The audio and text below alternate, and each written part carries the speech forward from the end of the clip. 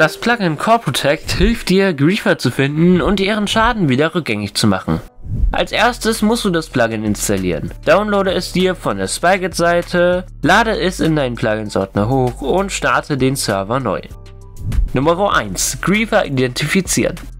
Aktiviere den Inspektionsmodus, indem du den Befehl /co-inspect ausführst.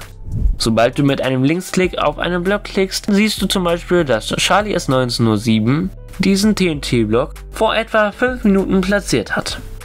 Wenn du jetzt wissen willst, ob ein Block abgebaut wurde, dann kannst du einfach einen Rechtsklick mit einem anderen Block auf die leere Stelle machen. Kommt dir eine Kiste erstaunlich leer vor? Kein Problem. Klicke einfach mit der rechten Maustaste auf die Kiste. Jetzt siehst du im Chat, dass zum Beispiel Charlie S1907 Items aus dieser Kiste genommen hat. Das funktioniert bei allen veränderbaren Blöcken wie bei Fässern, Trichtern, Versteckern und so weiter. Mit slash CO inspect deaktivierst du den Inspektionsmodus wieder. Nummer 2. Schäden rückgängig machen.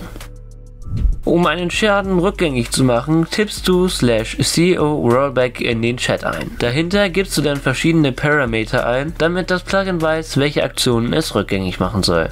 Starte mit User Doppelpunkt und dann den Namen des Spielers, der gegrieft hat. Als nächstes legst du mit Time Doppelpunkt die Zeit fest. Gebe dahinter zum Beispiel 2 Min für 2 Minuten oder 1 H für eine Stunde ein. User Doppelpunkt und Time Doppelpunkt müssen zwingend festgelegt sein. Optional kannst du mit Radius Doppelpunkt den Radius festlegen, in dem die Schäden wieder rückgängig gemacht werden sollen. Sende den Befehl ab und nach wenigen Sekunden wurde alles wieder rückgängig gemacht. Nummer 3. Der Undo-Befehl.